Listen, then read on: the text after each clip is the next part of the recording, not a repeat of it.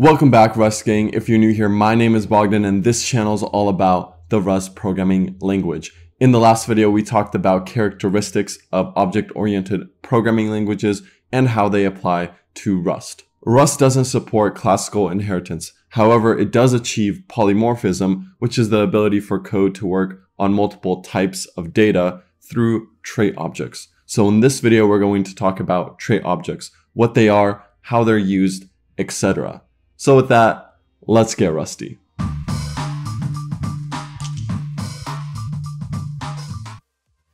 To learn about trait objects, let's talk about a hypothetical situation. Imagine you're building a GUI library or a graphical user interface library.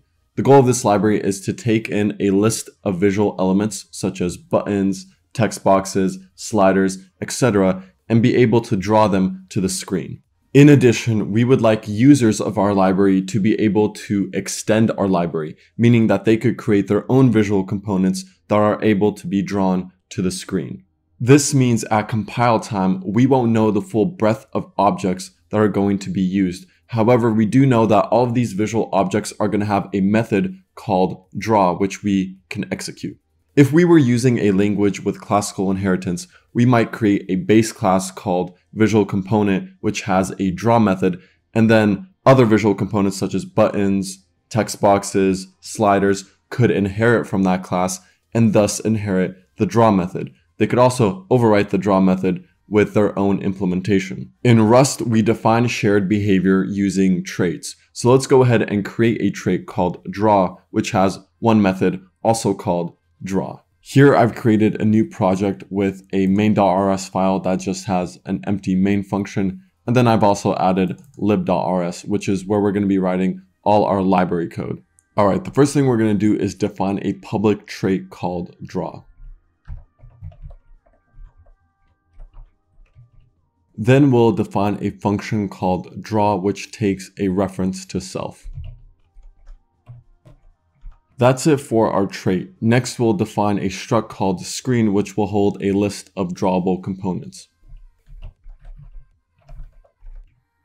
We're going to have one public field called components. And that's going to be a vector. Our vector is going to contain a box smart pointer. And then our box smart pointer is going to contain any type that implements the draw trait. Here we have a vector of trait objects. We define a trait object by first specifying some sort of pointer such as a reference or a box smart pointer, then using the dyn keyword followed by the relevant trait. The dyn keyword stands for dynamic dispatch, and later on in this video, we'll talk about the difference between static dispatch and dynamic dispatch. Also, in chapter 19, we're going to go over why trait objects need to use some sort of pointer. Now that we've defined our trait object, Rust will ensure at compile time that any object in this vector implements the draw trait. Now that we have a vector of components, let's create a new implementation block for our screen struct with one method called run, which will iterate through our components and draw them to the screen. We'll use the impl keyword then we'll create a new public function called run, which will take a reference to self, and it's not going to return anything. Inside our method body, we're going to iterate through our components vector, and for each component, we're going to call the draw method.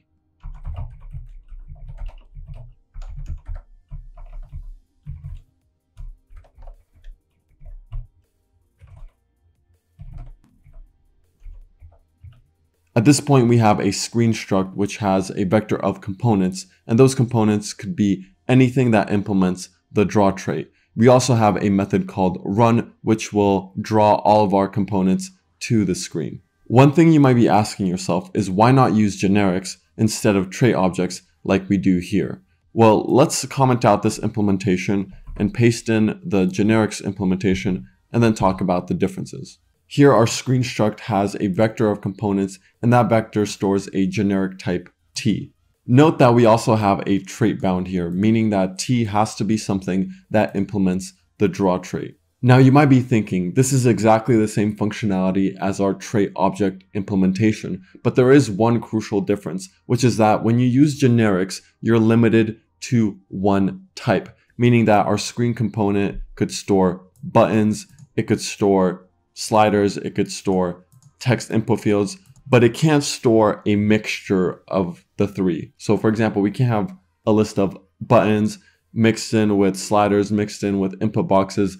The list has to be homogeneous. So if your list is homogeneous, meaning that you only store buttons or you only store text input fields, then using generics with trait bounds is preferable because there is no runtime cost. However, if you need the flexibility to store any type that implements a certain trait, then you'd want to use trait objects, which do have a performance cost, which we'll talk about later in this video. Now let's implement some drawable components.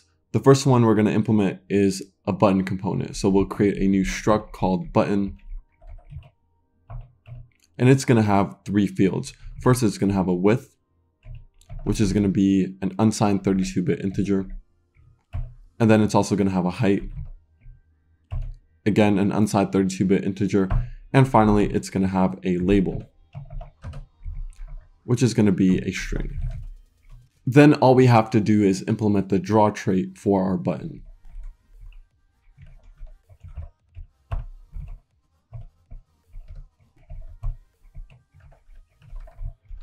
Note that the goal of this example is to learn about trait objects, not actually implement a GUI library, so we're just going to leave a comment here instead of an actual implementation.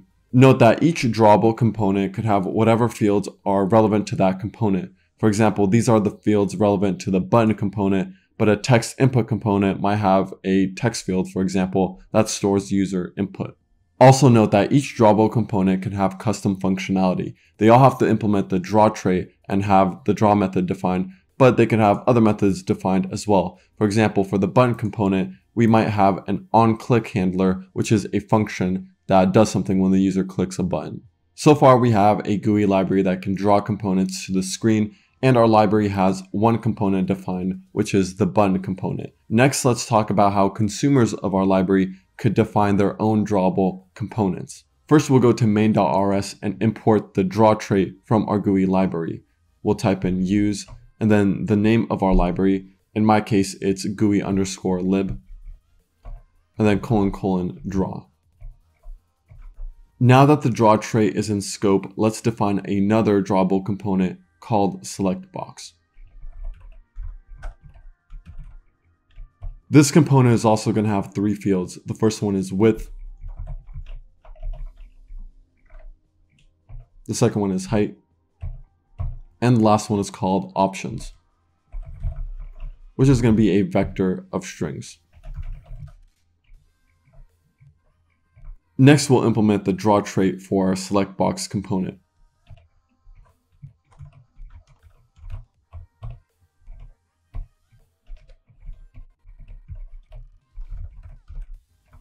Now that we've defined our custom drawable component, let's use our GUI library inside of main.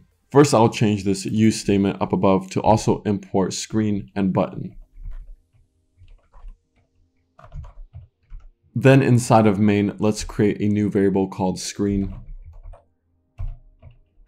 which is going to be an instance of our screen struct. The screen struct has one field called components, which is going to be a vector. Next, we'll add components to our vector. Remember that each component has to be within the box smart pointer. So let's create a new box smart pointer instance. Our first component is going to be a select box. We need to specify a width and also a height and then options.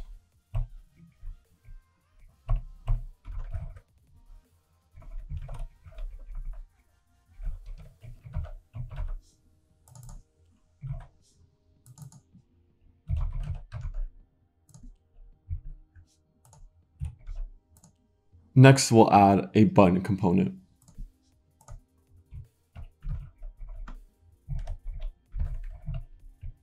Again, we need a width and a height, and then a label.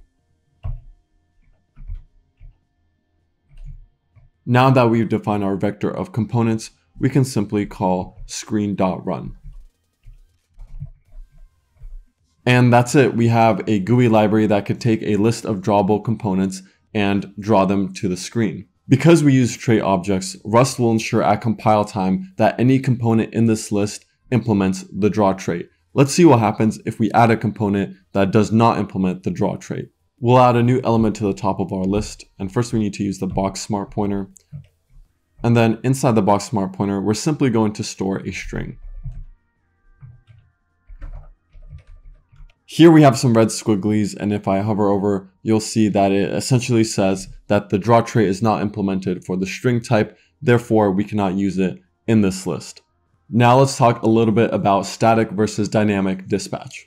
If you recall, chapter 10 of the Rust lang book talks about a process called monomorphization, which happens when we use generics and trait bounds. Monomorphization is a process where the compiler will generate non-generic implementations of functions based on the concrete types used in place of generic types. For example, let's say you had a function called draw which takes two generic parameters and adds them. Then let's say that you use that function with floating point numbers and integers. Well, the compiler will generate a function called integer add and then another one called float add. Then it will find all the call sites of the add method and replace it with the concrete implementation. So essentially we're taking a generic implementation and substituting it for a concrete implementation. This is called static dispatch. Static dispatch is when the compiler knows the concrete functions you're calling at compile time. The opposite is dynamic dispatch. Dynamic dispatch happens when the compiler does not know the concrete methods you're calling at compile time. So instead, it figures that out at runtime. When using trait objects, the Rust compiler must use dynamic dispatch, and that's because the compiler doesn't know all the concrete objects that are going to be used at compile time. Instead, the compiler will add code to figure out the correct method to call at runtime, which means there is a runtime performance cost. However, the upside is you get to write flexible code that can accept any object which implements a certain trait. The last thing I want to talk about is object safety. You can only make object safe traits into trait bounds. So what does it mean to be object safe? Well, there are two relevant rules you must follow. A trait is object safe when all of the methods implemented on that trait have these two properties. The return type is not self and there are no generic parameters. If a trait does not have these two properties, then the Rust compiler can't figure out the concrete type of that trait and therefore doesn't know the correct method to call. If you're interested in learning more about object safety, in the description I've added a link to a relevant request for comment document which you can read. Alright, that's it for this video. If you enjoyed it, give that like button a high five, and if you want to see weekly Rust videos, then hit the subscribe button and notification bell. Lastly, I'm going to be releasing a Rust cheat sheet, so if you want access to that, make sure to click the link in the description. And with that said, I'll see you in the next one.